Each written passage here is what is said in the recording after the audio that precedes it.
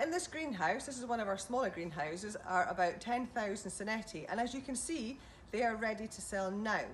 So, and even in the small greenhouse, potentially the wastage is going to be huge.